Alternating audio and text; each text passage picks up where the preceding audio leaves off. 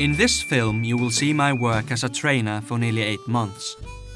The film describes how I work and build up my training strategy. The work is not aimed towards the filming in particular. This is simply how I work with horses. The same can be said about my previous film, in which I focused on the training of young horses. There you can see many of the things that lead up to the training you will see in this video.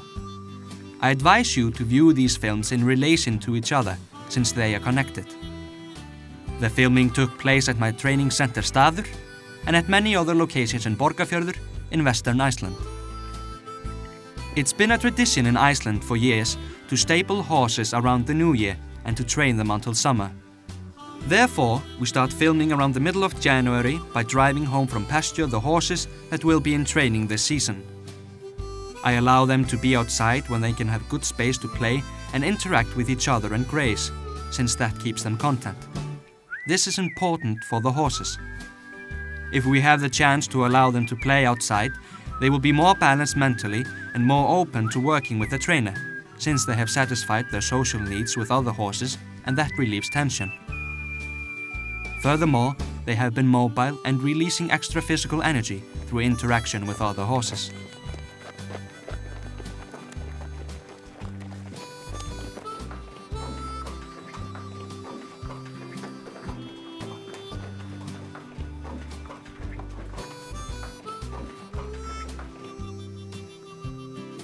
When the horses have been shot, there is nothing that prohibits a short ride, especially when the weather is this good and the riding trails great.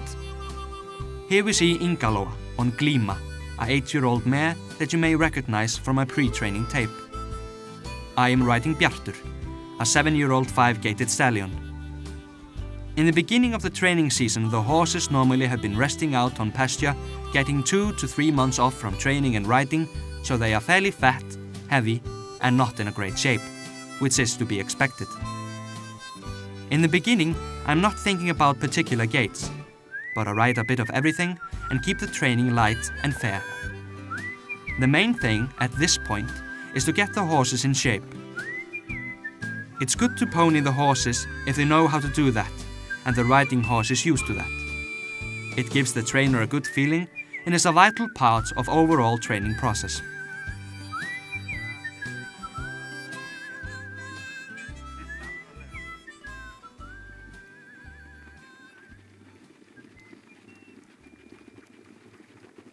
Before we go further, it's good to go back to some of the things we taught the horses during that pre-training period. This is Lýsingur, a seven years old four-gated horse. I'm going through the essential steps regarding the cooperation and connection between man and horse. The horse should respect me, and if he comes too close to me, I slow him down by using the lead rope, make myself big, and he moves away from me. Since he has enough space to move in, he does not feel uncomfortable doing this. Lýsingur was trotty while he was being pre-trained, and for this type of horse, it's a relief to practice tölt without the bridle and the rider. Working like this is adding variety to training and making it more interesting for the horse. When the horse knows certain work, lunging for example, one does not have to limit it to the riding arena and can take it out of there. It makes a good variety for the horse and the trainer to vary the environment and to use whatever facilities there are.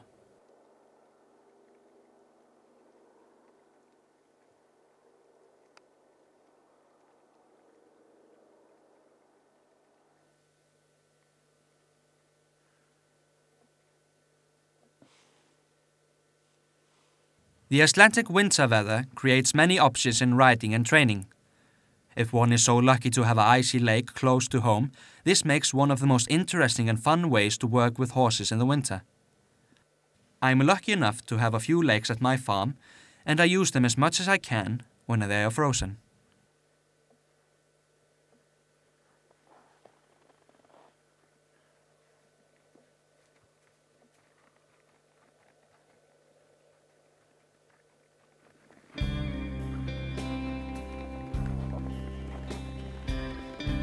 Here I am on the ice with Lýsingur. He's a bit trotty and not quite clear in the gait, but I'm not worried about allowing horses like this to fall into trot from tölt. It's a reward for him after tölting, and he will be happier to tölt again. If he feels rewarded for tölting, he is more likely to keep on developing the tölt. I find it hard to follow his big trot, but I do my best to be soft in my body, loose in my hips, to keep my heels down and the rein contact soft.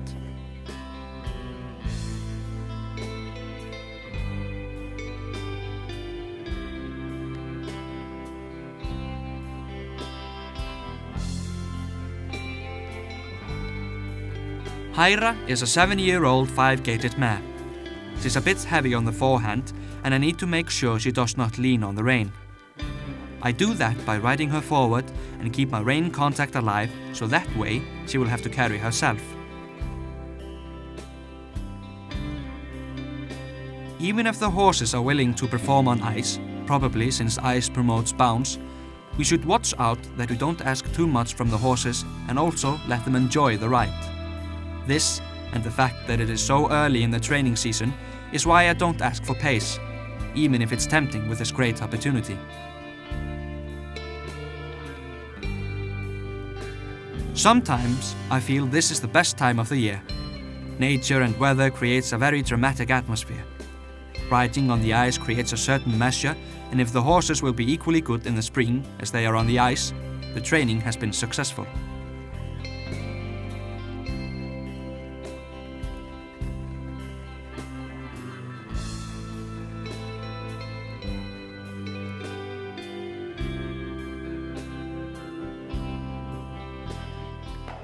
Now I will work with the horses in the double lunge.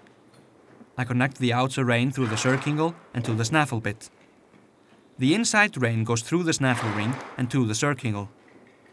This way, it's easier for me to bend the horse to the inside of the circle and it will also make the horse flex better at the pole. I emphasize I want the inside rein to be soft and flexible and the outside rein to be with very little or no contact. It's my experience that through the weight of the rein alone, the horse will work correctly, soft and balanced, because he feels good and is not forced to flex or yield to the rein contact. This is something the horse understands and agrees to. The horse needs to be cooperative, to move with every rhythm and tempo, and to be without tension, although I want him to be focused on me. I cannot and do not want to have a set frame around the lunge work.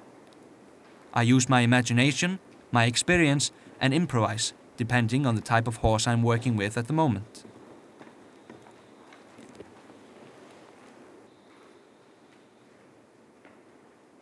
If the horse has a positive attitude, I like training taught with this method, but only for a short time. Notice the slack reins.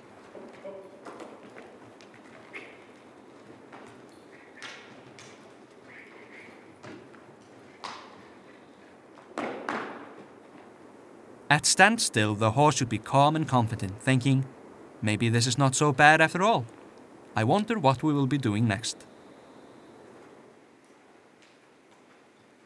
When sending the horse away from us, we need to be careful to give the rein freely. Otherwise, we are sending the horse a mixed signal to go, but yet to stay. This makes him unsure about what to do.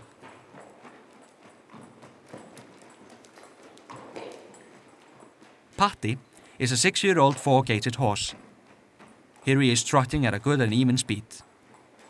I'm aware that he is stiffening his inside and I know it will take time to open and soften both sides equally. Here it's wise to take one's time. If it's easy for the horses to canter on a circle, I sometimes use the double lunge and ask them to canter, but only for a short while and on a loose rein.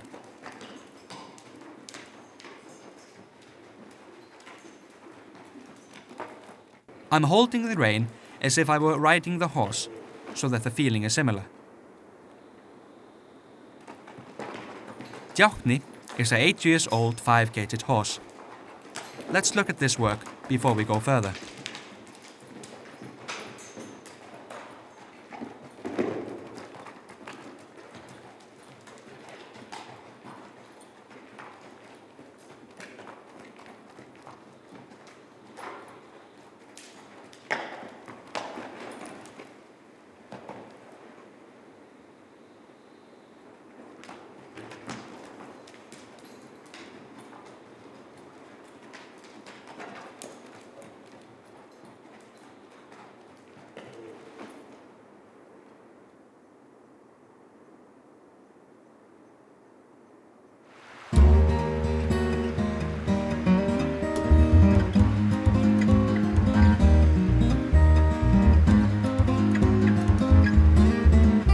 Play day will now be introduced.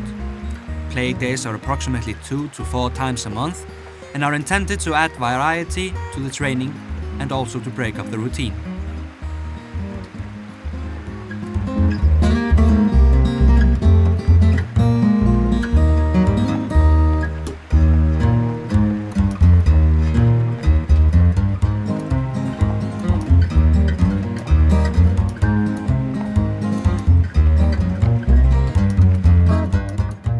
If the horse is well pre-trained, I do many exercising during a regular trail ride. It's all a part of the ride.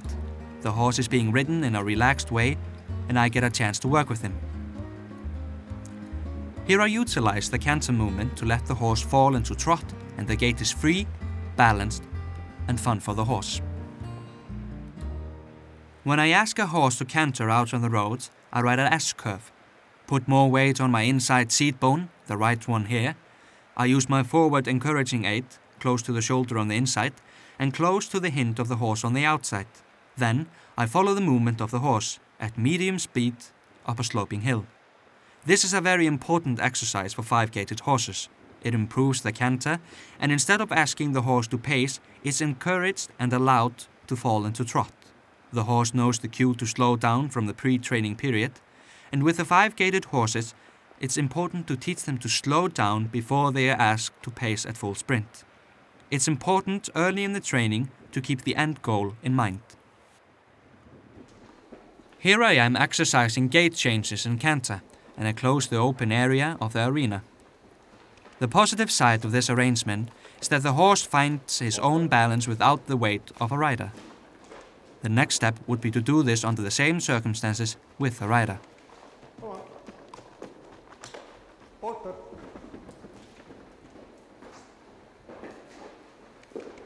I use my body positioning to get his attention. Djákni is a high-strung type, but I still want him to pay good attention to me.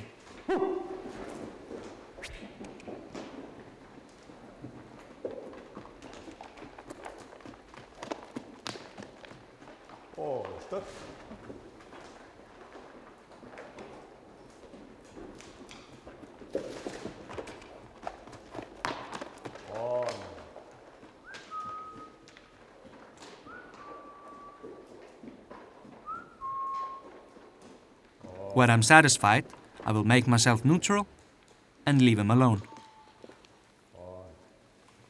Then he'll calm down and I can approach him.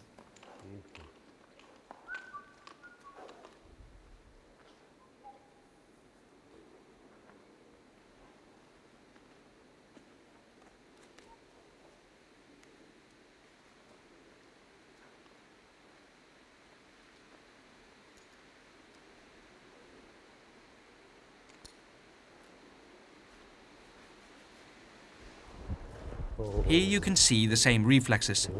Sometimes the cues need to be a bit exaggerated, but it's okay if you just know when to stop.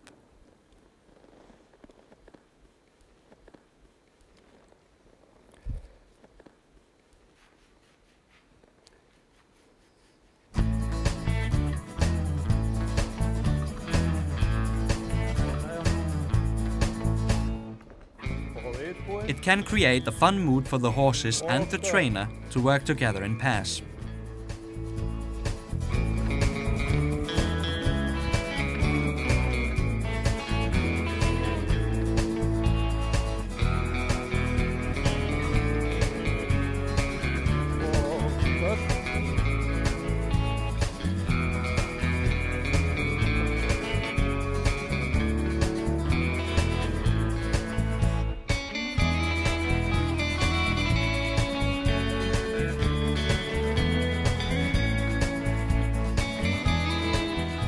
When the horse is in canter, I follow the movement with my seat and calves as much as needed. I try to move with the horse as if he would be cantering on his own without the rider, and stay out of his way so he can move more freely. The next step would be to ride with light rein contact. Some five-gaited horses find it difficult to perform this exercise in such small space. Those horses I ride light canter outside a sloping hill where it's easier for them to find their own balance. This would be called to take into account the different types of horses and their varied abilities.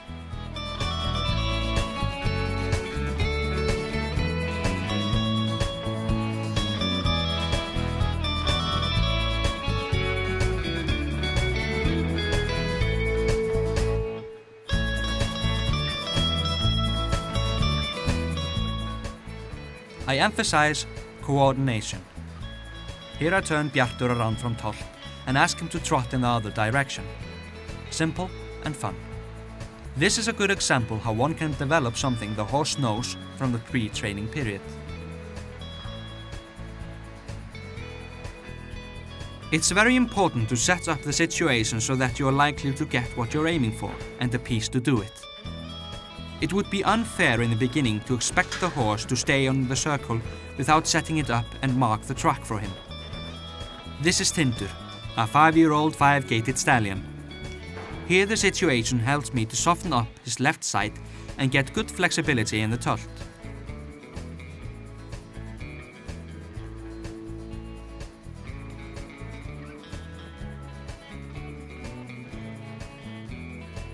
For this exercise to work out, all the muscles in his body must be soft and relaxed. He also has to listen, understand the exercise, and agree to perform it without resistance. I need to watch out for my own balance in the saddle. To interfere with the balance of the horse is to get in his way and make it more difficult for him to do what we are asking.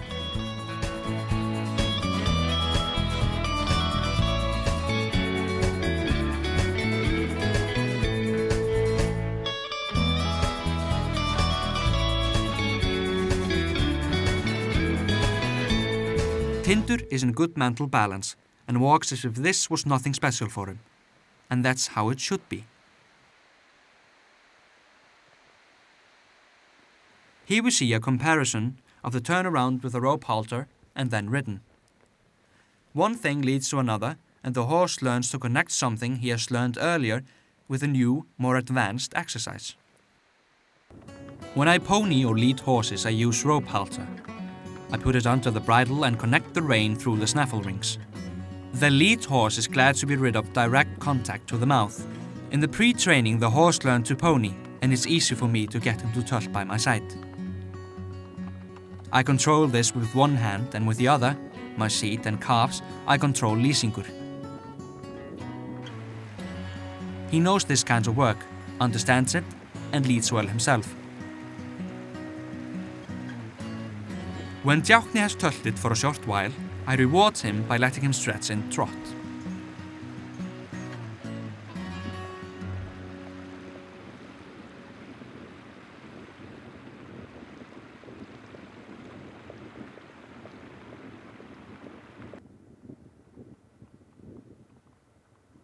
Here I am riding Glima and leading Léttir, a 13-year-old competition horse. Léttir has extensive training and experience, and there is no need to ride him daily to get him into shape. Years of competition training is hard on horses, and to avoid overtraining and boredom, I focus on maintaining his natural qualities by keeping the training varied and within certain limits. Early in the winter, it's mostly leading and free work. Léttir is an honor guest in this film and will be presented later.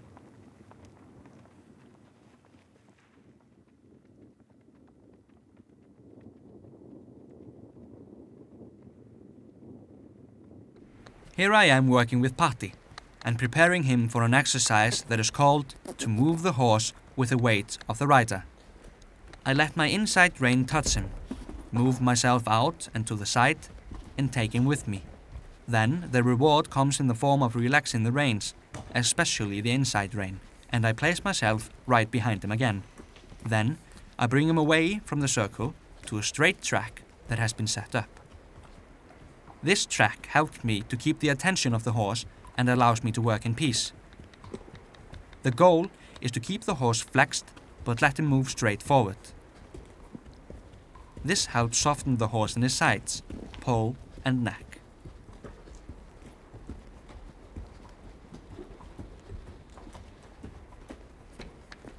Here I'm doing the same, except here I have Tindur and I'm sitting on him. I sit in a balanced seat but turn my body slightly to follow the bend of the horse. I use the inside rein in calves like I use the inside double lunge. My outside calf guards the outside hindquarters and encourages the horse to move forward. Then I introduce this into the tölt exercises, and if I feel the horse does not soften his inside enough, I take him with me and release again. Finally, oh. I turn around and halt. How to move the horse. I move the upper body to the side, brace the horse with my inside calf, take both reins to the side, and take the horse with me. When the horse has responded, both reins are released, and I sit in a balanced seat with even weight on both seat bones.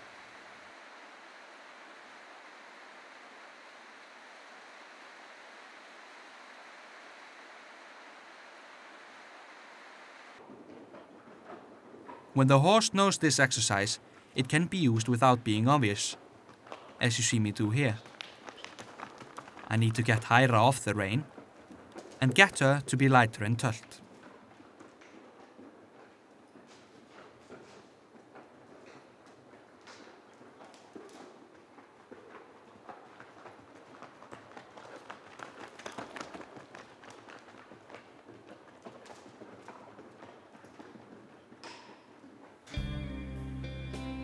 To be able to take the horse with one's weight is a great feeling, loosens and improves the Tölt, and works for both 4 and 5 gated horses. I'm very careful that all cues and rewards are correctly administered and timed. Hyra is happy and soft in both sides. She carries herself and works freely in the front. All of this gives a positive and happy look to the horse.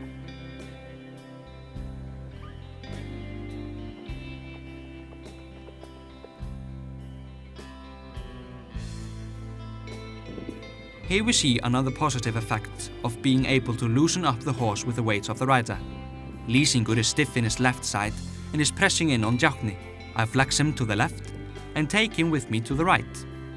This is how I get him to listen and the problem is solved.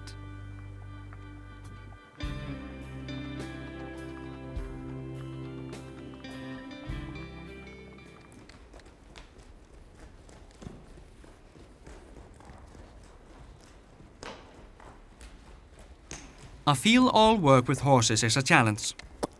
One has to understand the horse and then be extremely resourceful and imaginative. An old-timer in Iceland, Hesta Bjarni, said, Train and handle your horse as if he were your playmate. I think it is both necessary and fun to break up the training pattern every now and then and play. This is another example of adding variety to the training of the horse. This is not about the height of the jumps, rather what I have to work with based on my earlier work with the horse. It's like improvising in a theatre. Glaumur is seeing this stuff for the first time, and this has not been practiced at all. I'm sending him both over and past the jumps, so there is no particular pressure on him which way to go. This way, I can influence the horse without him noticing too much.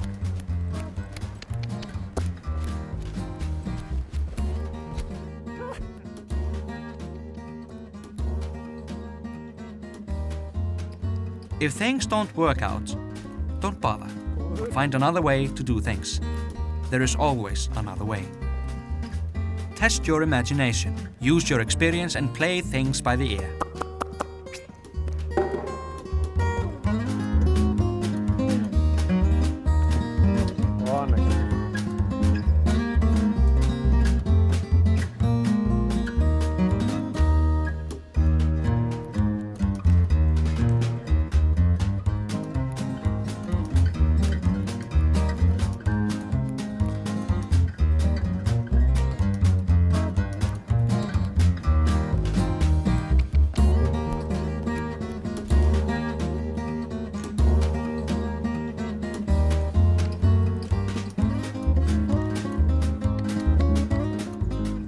In all play, there is always some purpose, and maybe this shows our work with the horses in a nutshell.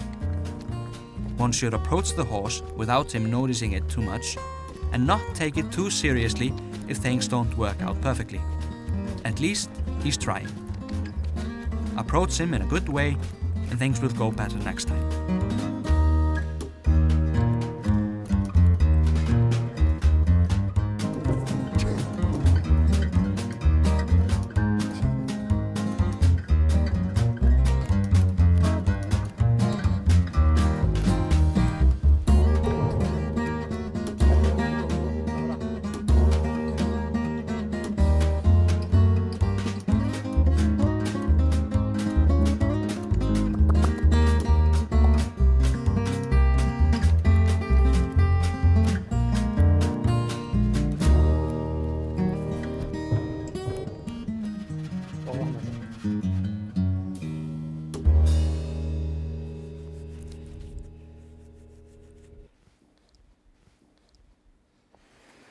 Now we are at the point of starting pace training. Sometimes I keep the boots with me in my pocket and put them on when I need them. This is to avoid possible soaring of the horse.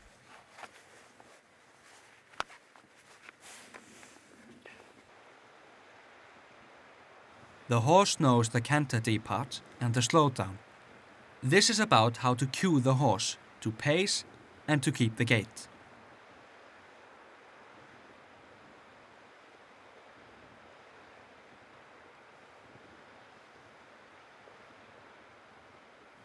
I ask Glaumur to do a left canter, and then I place more weight on my right seat bone, give him a cue with the left rein, while the right rein is a supporting rein, and lift up his head a little. I encourage him to speed with my calves and lead him forward with the reins. In the beginning, the speed is not important, and the horse does not need to be fast. The horse needs to find his balance and gain courage to be able to find more power and forward thinking in his gait. Forward thinking an initiative is when the horse puts his own energy into working without too much encouragement from the rider. Let's look at this again from a different angle. Bjartur is an experienced pace horse, but this is the first pace sprint this winter, and I make it short and positive.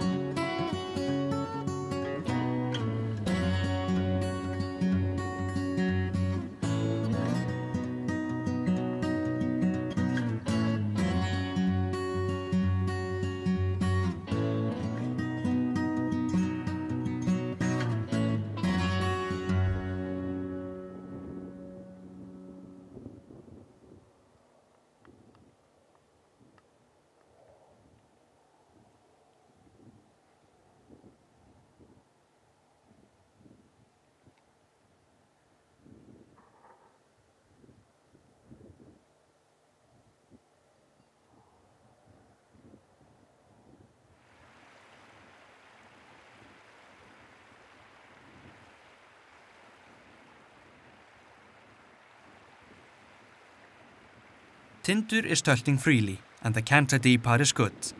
But at this point in the training, he's not prepared enough to know fully how to perform. He is thinking too much about the tölt. This needs to be given more time and more training. The goal of work in hand is to enhance the sensitivity and understanding between man and horse. Here I am with Hyra. With a cue from my hips, I get her to yield and flex a little, to soften the inside and flex at the pole. The crop is encouraging her to move forward. The next step would be to keep contact on both reins and cue her with elbow and crop. The third step would be to take the rein in one hand and cue her by pointing my elbows toward her hind and the crop at the shoulder.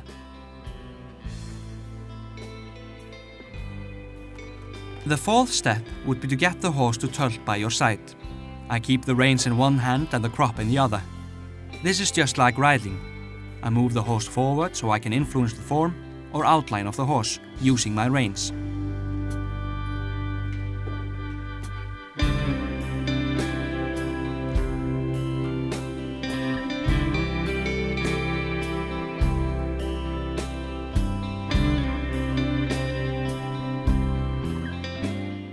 Are many ways to change leads. Here you see one.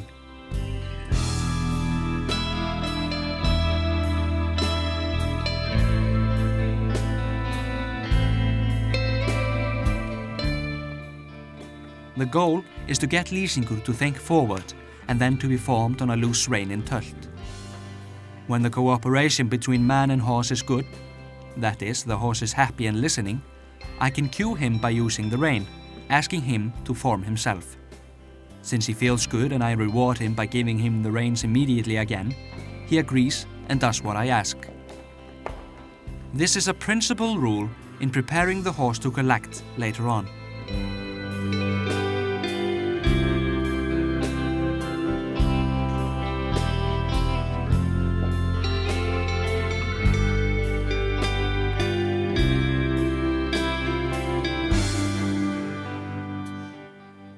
At this point in the training, Lýsingur had an accident and had to be given a time off.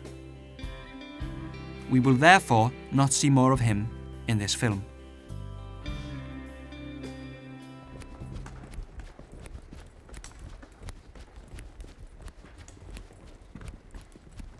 All exercise is good for the rider. Oh. But there are limits. This is why the workhorse was invented.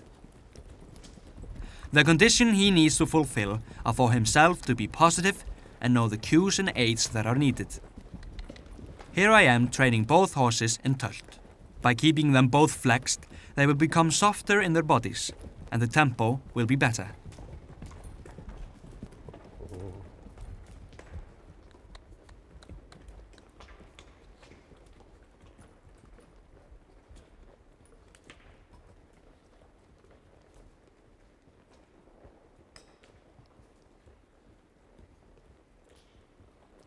I can feel the horse I'm riding, but I'm watching the other one. This is how I can control them separately.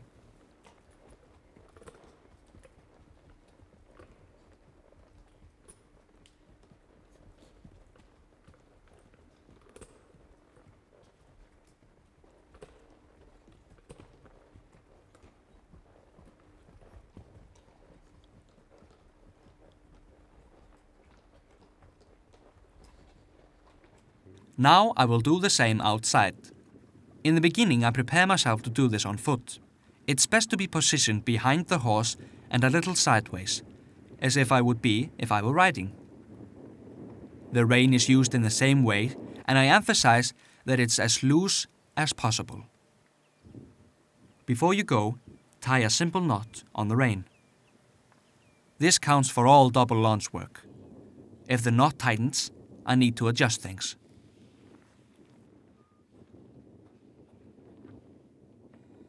When I start this work, I bring with me an extra rein, and when I have finished my double lunge work, I approach the horse carefully and attach the rein to the bridle and remove the other one. Then, I walk the rest of the way and leave the horse behind me.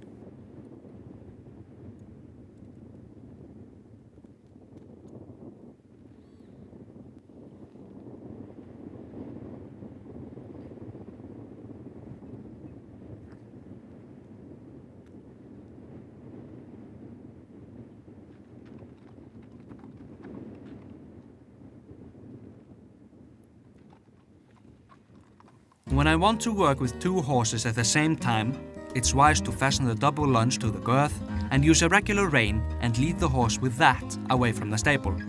On the way home, I attach the double lunge and make my way back home. It's important that the rein horse is thinking forward and energetic. This is why I use the way back home to do this.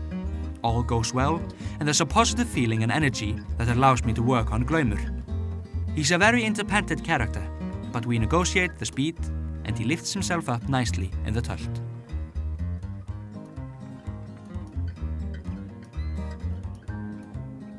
Here I am simply riding outside. One of the important aspects of training is just riding the horse, but not to make him work at specific exercises all the time. Now, I want to continue training the pace. Bjartur is in a positive mood and is getting into shape.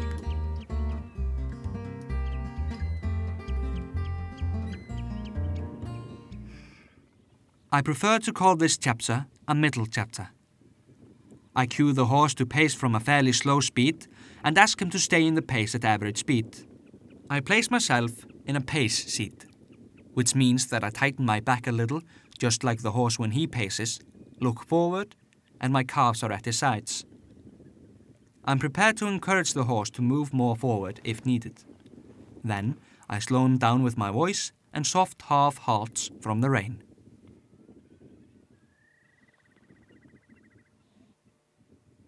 Now the basics and earlier preparation will be tested more and more. That is to say, the quantity part, the response to the pace cues and aids, the balance and pace, and the slow down response. If any of these are not working correctly, one has to go back in the training process and prepare the horse better, or else there is a danger of tension and stress building up in the horse. If the horse starts to be nervous and builds up negative feelings towards the pace, it will normally affect the other gaits as well. I have a good feeling for Djákni. As you see, I'm riding him with an Icelandic shank bit.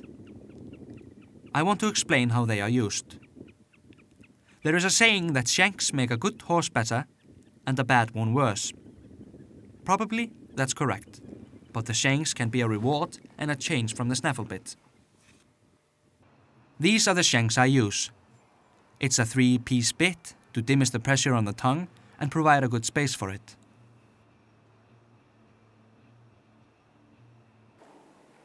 I use the shank so I can leave the horse more alone. I feel it's okay to try the shanks when the horse is calm and knows all the basic aids and cues. The rider needs to have a very good balance so that he can correctly influence the reins with his hands, for example by giving and releasing at the exact right moment. Djákni is balanced. He walks with energy in his step and chews on the bit. I feel immediately that things are looking good. At the walk, I start to think about myself. Is my weight correctly distributed in the saddle? Are the heels the lowest point? Am I flexible enough? Do I transfer my weight to the inside at the right time when riding the bend? Are my shoulders relaxed? Are my hands sensitive enough?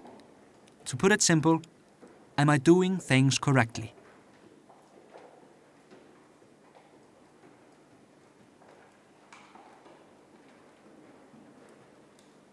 After warming the horse up in walk, I ask him to trot. I lighten my seat to relieve the horse's back and allow him to be fairly low. I have light rein contact and he offers me a nice flexion at the pole.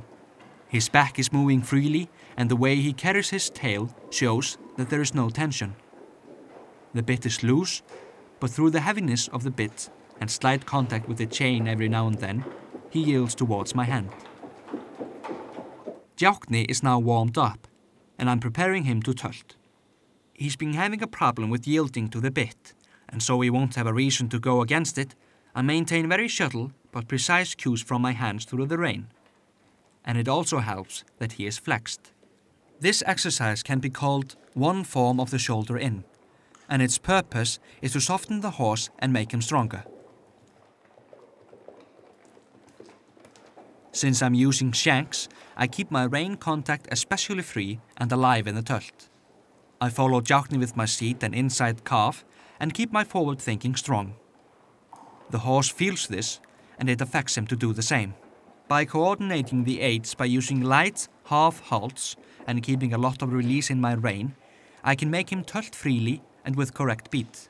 Furthermore, he's carrying himself, and to me that's very important, since the horse should not lean on the rein so that the rider has to hold him with his hands, even if the horse is quite willing.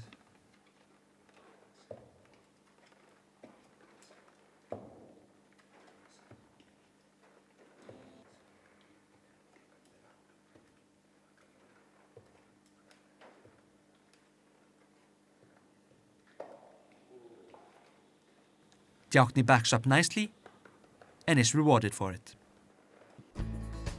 Next, I want to show you how I work with tempo changes in tölt. I'm riding in slow tempo. I lean forward a little and at the same time release the rein and use my calf to encourage the horse to move forward. I call this exercise impulsion and it can best be described by imagining riding under a laundry line. The benefit of taking the rider's weight off the horse's back, releasing the rein and pushing him forward, is that the horse loosens up in the shoulders, moves more freely, and is nicely balanced. After riding 5 to 8 meters, I sit down in the saddle again. This is what could be called to create an atmosphere for the project one is working on. It's also good to straighten the cooperation between man and horse by asking for something the horse knows and is willing to perform.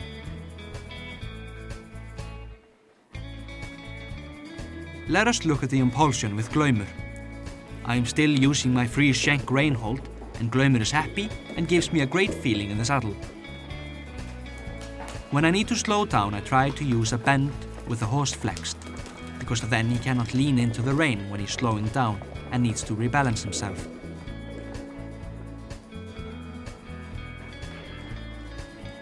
I think we need to take the concept of riding exercises even further. Many of the things we do with the horse can fall under the concept of dressage.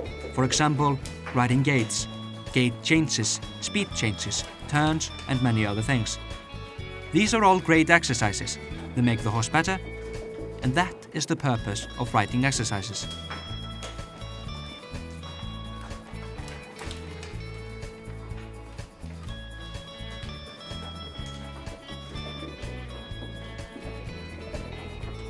Sometimes I feel it's okay to use the shanks for a young horse. I can leave him alone more, and it's a change from the snaffle bit.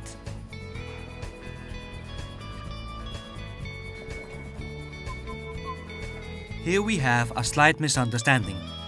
It's a rule with me that if the horse does not understand, I slow him down so that I can explain better to him what I want. I call this slow down to come through.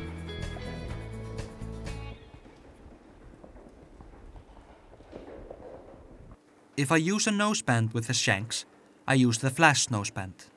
It should not be too tight, and the horse needs to be able to move his mouth and chew on the bit.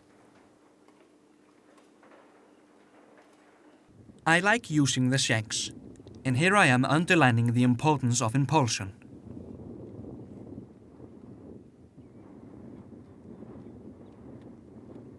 I use the basic seat and trot, keeping the rein steady with very light and sometimes even no contact to the mouth. I follow the horse, soften my hips, and you should notice that both my calves and heels are very soft and flexible. It is the basic principle for a good seat.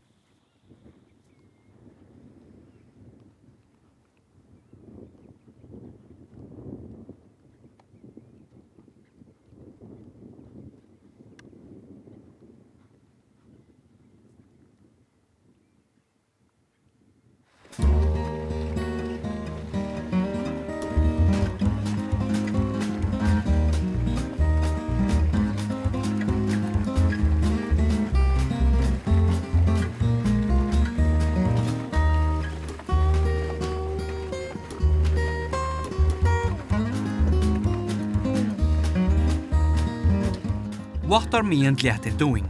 We? We're just having fun. We should never forget why we started out in horses. It was to have fun and enjoy the horses. This should be our goal in all our work with horses, regardless of what type the horse we are riding, a great competition horse or a calm and gentle family horse.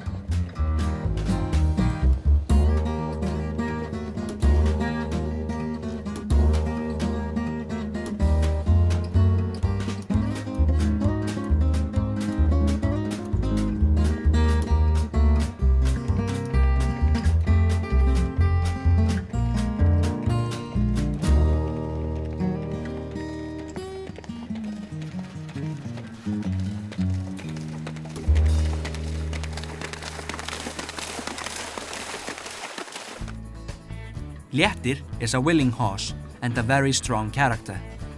By nature, he tends to be a bit pacey in the tölt, and in the beginning, he was quite pacey. Through the training process that I teach both in my earlier tape and in this one, I've been able to build up excellent tölt.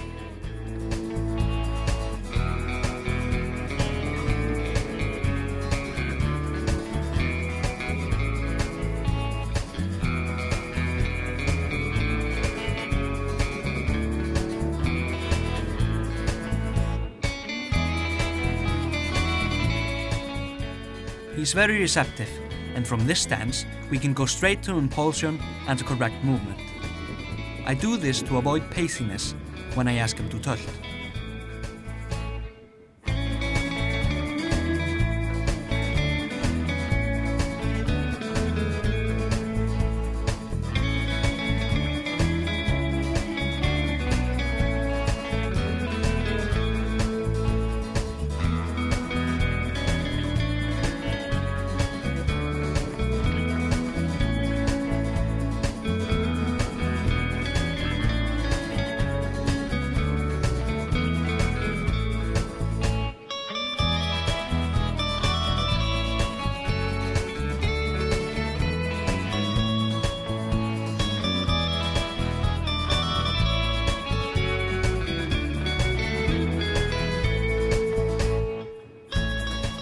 Léttir it is powerful and fast in the trot. I feel it's important when I'm riding trot to follow the movement that comes through the back of the horse. It's important since it's the only way to use my aids precisely and therefore influence the head carriage. This is the best way to stay out of his way and he'll be happier to perform.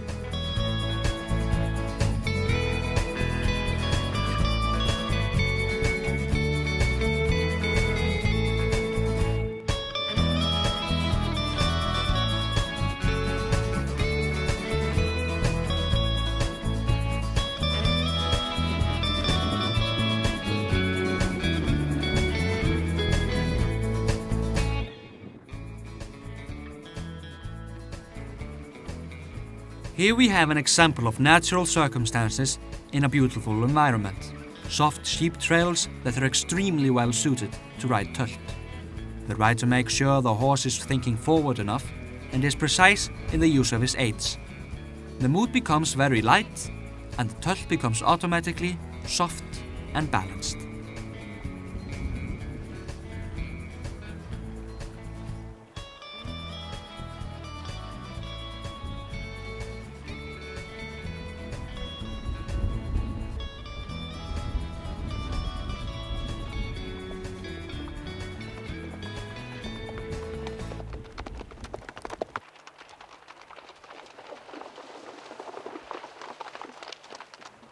Every now and then I go riding just to build up endurance. I leave the horses alone as much as possible, ride freely using the natural terrain to train the horses and let them work. This builds endurance and adds variety to the training.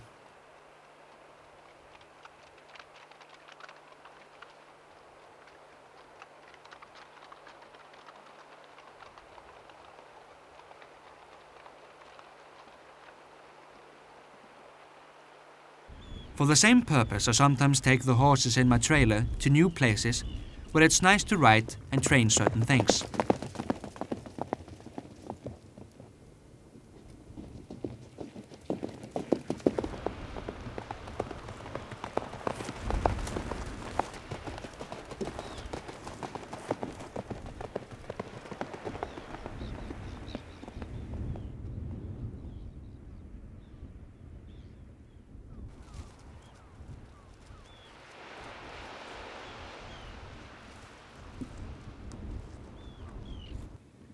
I emphasize letting out the horses that are stabled and I'm working with.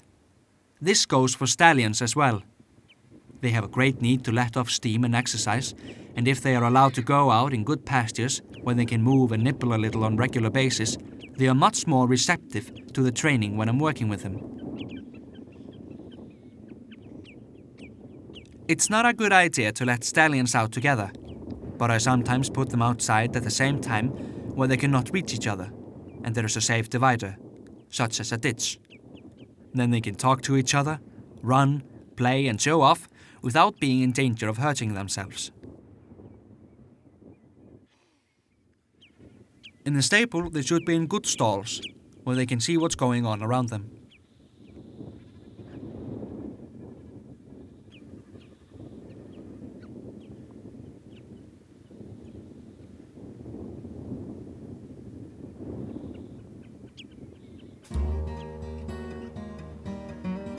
Stallions, like other horses, need variety in training, and I try to provide that. That way, they become easier to work with and learn the rules they should follow with a trainer. I think it's a test of their respect towards me if I can work with them together. If the preparation have been correct, this should not be a big deal. In most cases, I feel the horses I'm working with on a daily basis should be able to be in the role of a working horse and I should be able to lead or pony all of them in various ways. Here I am softening and strengthening the form of Tindur, both in tölt and trot, and I use Bjartur as my workhorse. This creates a fun atmosphere for the horses, and they have good influence on each other.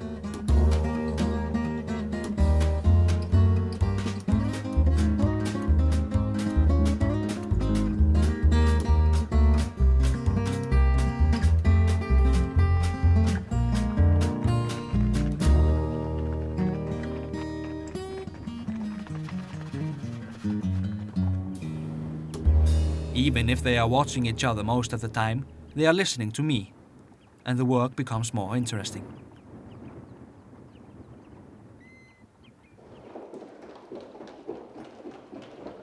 Warm-up can be performed in different ways. Here, for example, we let the horses warm up by running freely before we mount them.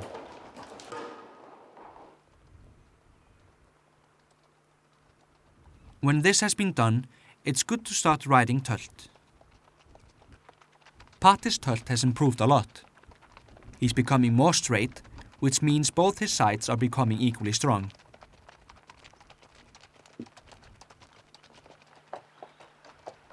We are on our way to practice the final pace exercise. The purpose of my assistant is to get my horse more forward thinking by letting his horse run close to me. I control the speed, and he should not interrupt me or my horse in any way.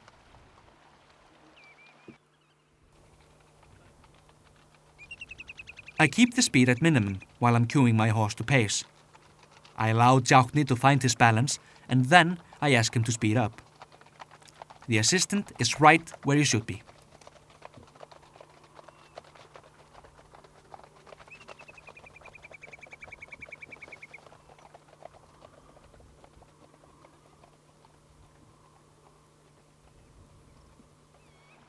After the pace, there's a period that I choose to call the spark. It means that I use the power and feeling from the pace sprint and ask the horse to tölt. If the pace has been successful, the horses are often prepared to tölt well, and I make a use of that with Patti's assistance. We are riding side by side, and this can also be a good test of leadership and keeping the horse under control.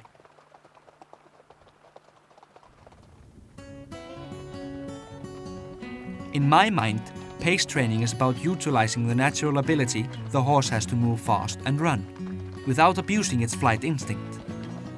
This is a challenging and interesting project. And when I feel that the horse is working on its own, I know I have reached my goal.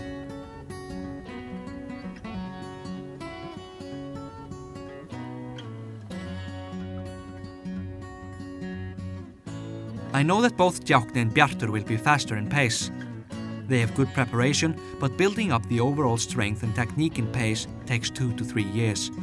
Here, as always, the timing of demands must be precise and correct.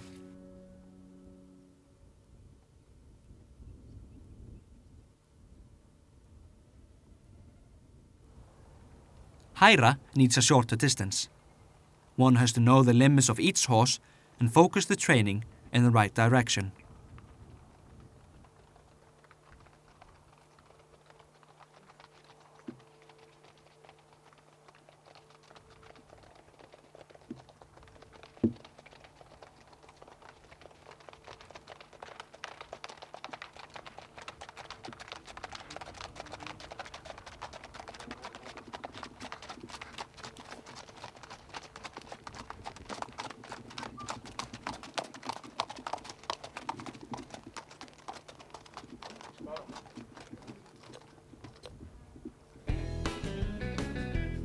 Often one hears about the leadership role between man and horse, but sometimes the cooperation is in such a way that there is no leader. We are simply working together. Here we see Léttir. He's a fully trained horse in pace. He is powerful and responds quite well to slowing down, although he's a very willing horse.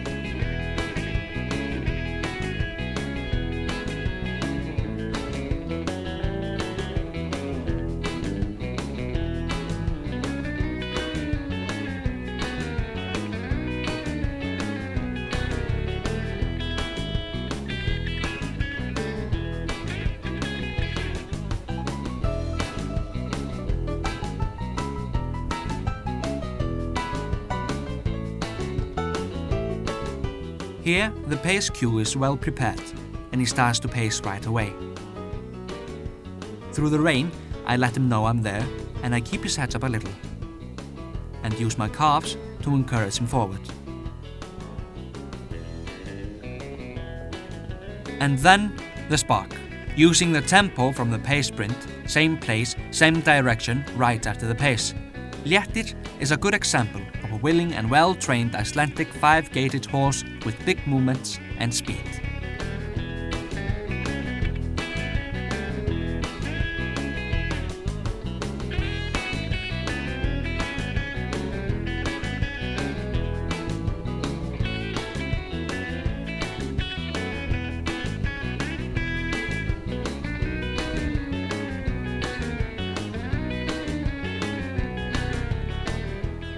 One side of my training system is to go every now and then to a new environment and improvise, to figure out what I have to play with.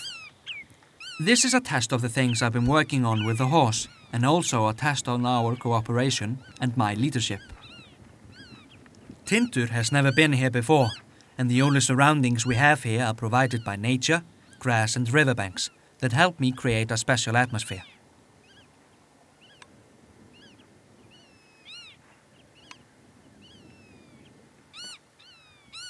Here I am preparing an exercise that I call turning the forehand. And to show how sensitive horses are, I take off half my glove and barely touch the horse while I have very light contact with the rein. It's my experience that if the horse is content and listening, he will respond better to shuttle aids. Let's not make things complicated for us, or the horse.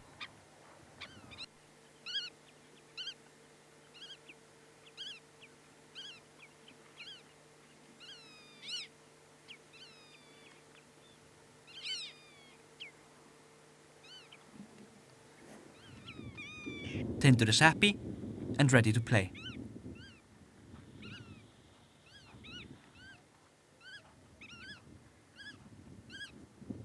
I emphasize softness and good head carriage. The part of the training where I worked with Tindur in the double lunge was very important for him. It helped the horse to flex nicely at the pole and be soft in his neck. When I'm riding him, I use this preparation, precise cues, and keep my rein contact alive. Sometimes he goes out of frame, as I call it, loses his head carriage, and sometimes he's in the frame, but I never force him to flex or yield. If I'm careful with my own balance, he will start to feel comfortable in the frame, since he's never forced to be there.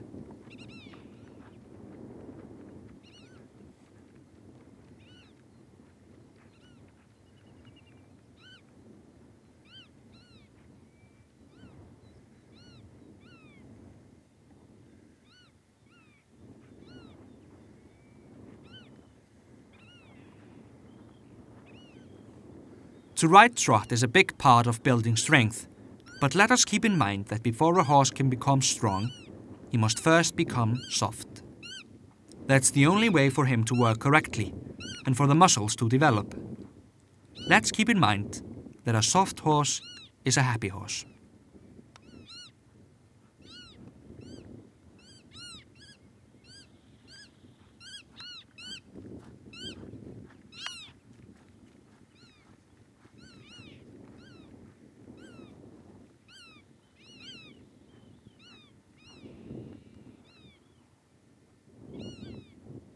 Between the more demanding tölt work for the horse, I allow Tindur to walk and leave him alone.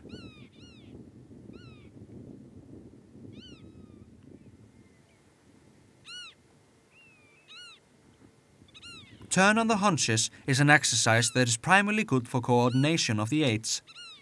A good workhorse needs to be very flexible to be able to serve his purpose, and then the turn on the haunches is a good exercise.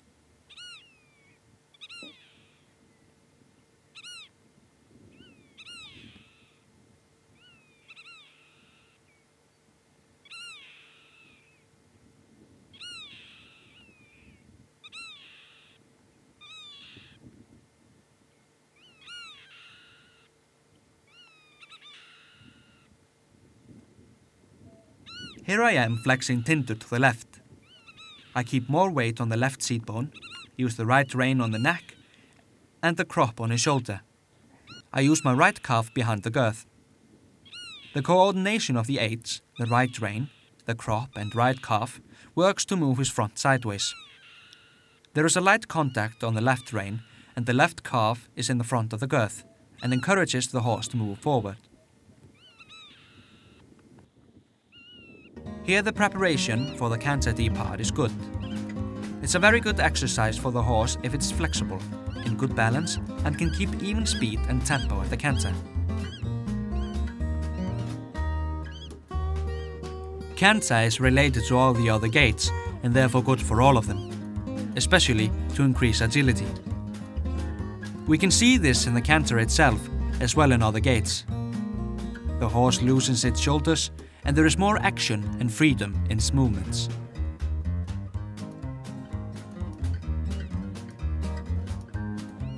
All horses are stronger on one side, and to canter them on both hands evens out this unevenness between sides.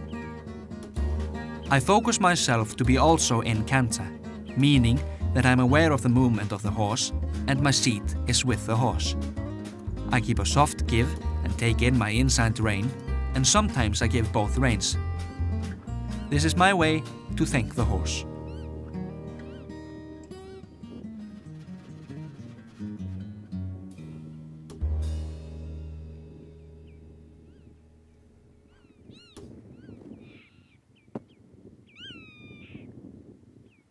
Let's not go across the lake to fetch the water. Here we see the good old serpentine. The horse is always flexed and is moving forward soft in both sides. A good overall exercise and great for tölt in particular.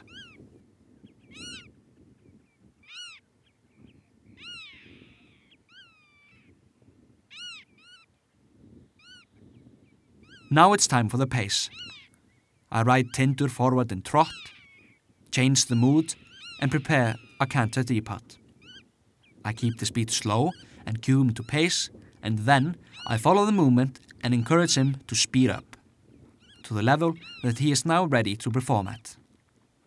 Tindur is five years old and promises good talent.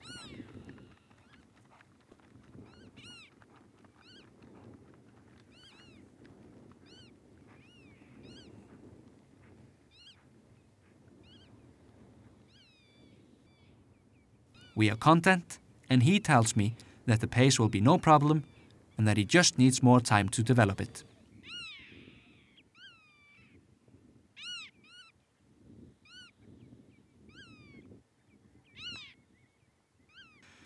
Glaumur is somewhat advanced in the pace training.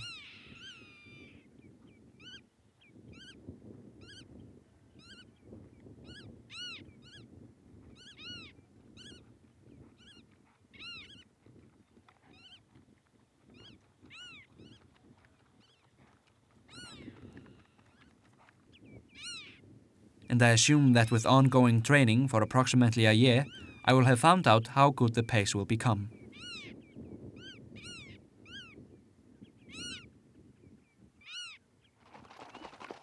We are going on a trip. All the horses, except the stallions, come with us, and then some from our friends. This is basically a pleasure trip for the horses and the people, but nevertheless quite important. The horses get away from the regular work areas and enjoy being free with the herd. The varied terrain makes them more experienced and they will become more self-confident and learn how to evaluate different situations. They will also learn where to put their legs. This is an important part of training the athletic horse.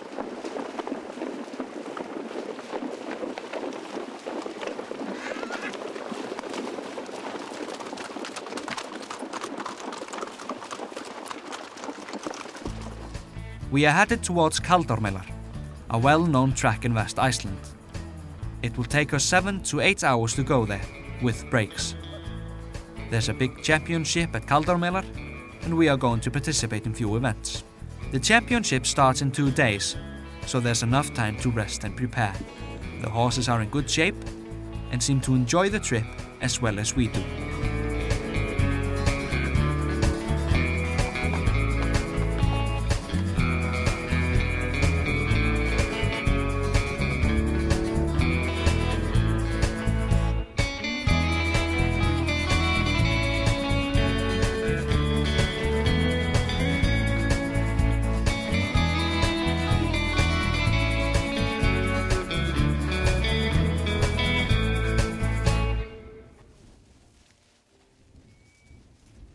One can measure the development and competence of a horse in more ways than taking it to a competition.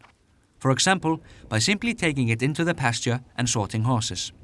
Here we have Djákni with two mares. I want to drive them away from him and keep them apart. The question is, will Glaumur be obedient enough and is he quick enough?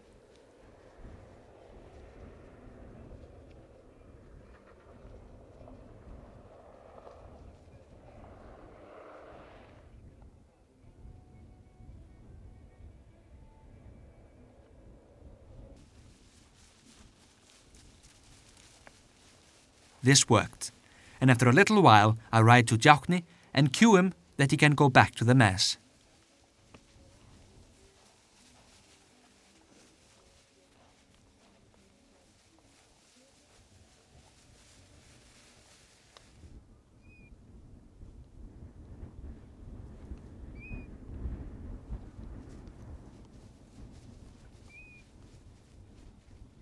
Here, I get the opportunity to ride around the horses on the circle. The loose horses don't mind since they feel I'm not placing any demands on them. And this is a far more interesting classroom than being closed up in the arena.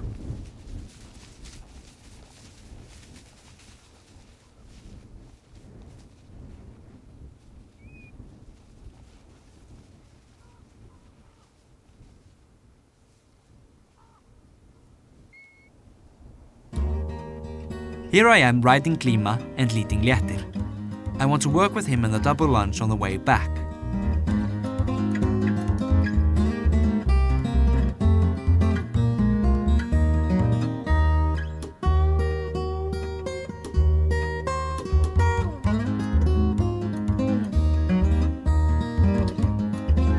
I ride in Tölt and get Léttir to do the same. All is going according to plan.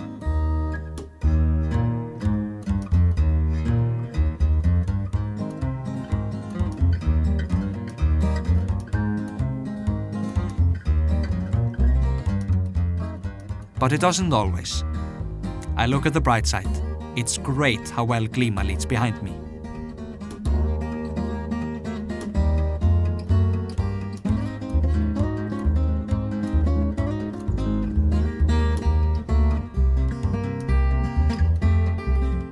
I want to enjoy being alone with Léttir and go to the beach, since I cannot imagine a better footing than a good beach.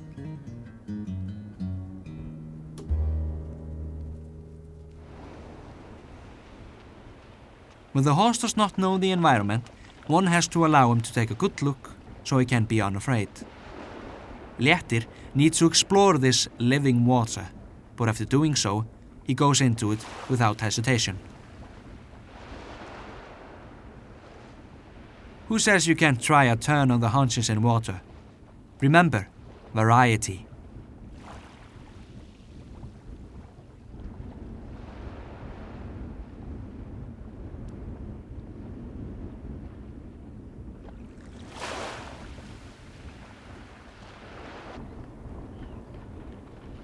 A sea bath is also refreshing.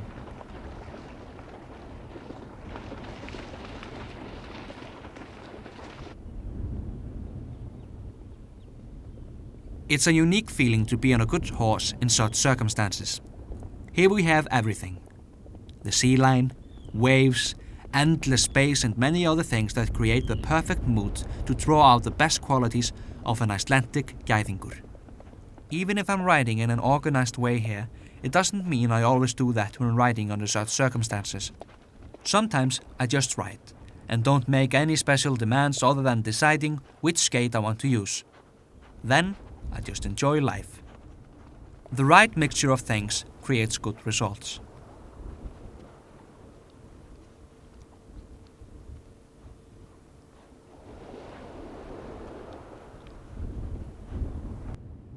Léttir can be quite hot under certain circumstances, but I can cue him to canter by using the bend.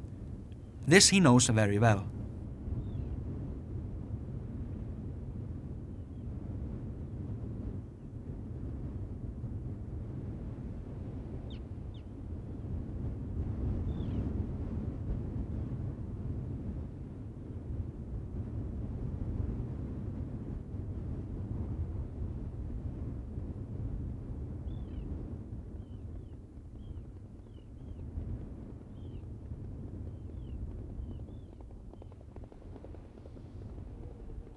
It's always helpful to pause a little and oversee the development of the training process.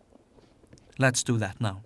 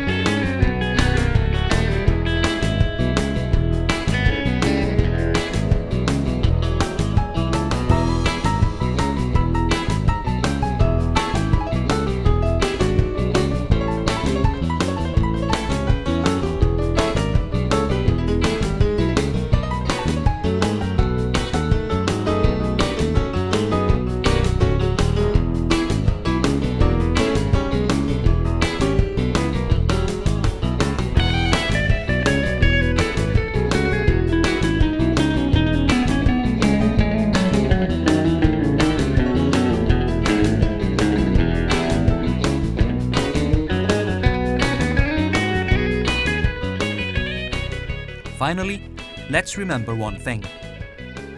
When the horse was born, he knew how to walk, trot, dance around in tölt, and to pace. He also knew how to back up and turn around in all directions. We are not teaching him anything. He knows it all. What we are doing is to ask him to do those things with us. And that is called harmony.